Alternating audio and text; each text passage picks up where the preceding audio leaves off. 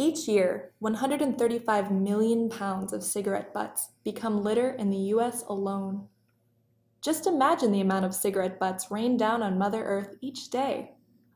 They're flicked onto streets, tossed from cars, and drop almost everywhere. Did you know that cigarette butts are the number one item picked up during beach and roadway cleanups? When cigarette butts are left on the road, they are washed away into our drainage systems and eventually out into lakes, rivers, and oceans. Along the way, these cigarette butts, which contain toxic chemicals, can be mistaken for food by fishes and other animals. Most people think that cigarette filters are biodegradable and made of cotton, but they are not.